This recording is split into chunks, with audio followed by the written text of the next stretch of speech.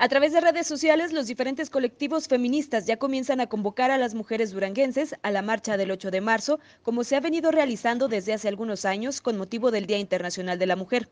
Se sabe que a la fecha ya se han estado realizando diversas reuniones para coordinar la logística y actividades a realizar en la fecha mencionada. La cita es en punto de las 17 horas en Avenida 20 de Noviembre, antes de llegar al Hotel Gobernador, para comenzar la marcha a las 6 de la tarde en punto, con rumbo a la Plaza de Armas, frente a Catedral, donde se continuará con las actividades de protesta.